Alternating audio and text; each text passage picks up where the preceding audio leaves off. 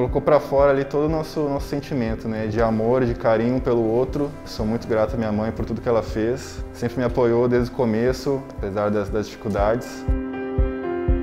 Quase matou tua mãe.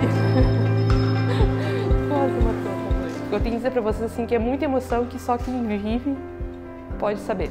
Eu tenho muito orgulho dele. É, tipo assim, passa um filme né, na cabeça, desde que é pequeno até agora, assim. Então, foi, foi muita, muita, muita, muita, muita emoção.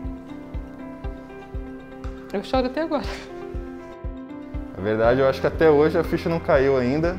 Tô com a medalha no pescoço aqui, mas é, é um sonho de uma vida de trabalho aí que se realizou. Eu acho que essa conquista foi muito especial. É, a gente sabia que era uma prova que estava aberta.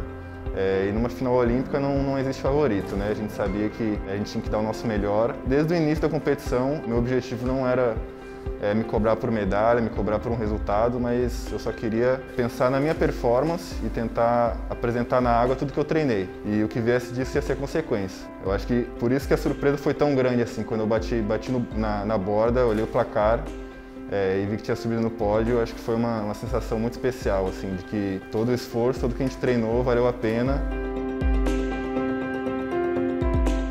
E é muito, muito do ponto de vista que a gente encara as coisas, sabe? Eu acho que às vezes a gente se menospreza muito, mas eu acho que a gente tem que ver por um outro lado, assim. Se a gente teve mais problemas, é, mais dificuldades, é porque a gente é, cresceu mais, né? Isso gera, gera uma confiança na gente para chegar na, nas competições, ter a tranquilidade de saber que a gente é capaz de, de vencer isso, sabe?